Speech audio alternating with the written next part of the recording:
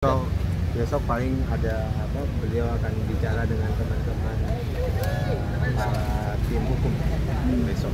Nah hari hari Rabu baru beliau akan sampaikan statement resmi. Itu aja. Bertemu tim hukum besok di mana?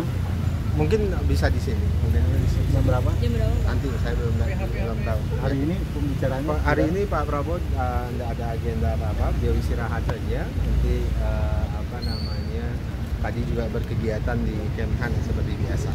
Oke itu aja. Rabu nanti akan datang langsung Iya, Pak Prabowo akan datang langsung diundang oleh KPU untuk menerima keputusan resmi eh, terkait dengan eh, penetapan beliau sebagai presiden terpilih. bersama Mas Gibran? Iya pasti pasti. Ini akan ada terkait Enggak, tokoh lain ini nggak? enggak ada.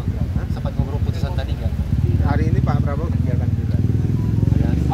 obrolan terkait itu? Yang jelas secara resmi nanti Pak Prabowo baru menyampaikan statement resmi beliau di hari Rabu. Oke, makasih ya. Malam ini ada Mas Gibran nggak Mas? Hah? Malam ini ada Mas Gibran. Makasih ya semuanya.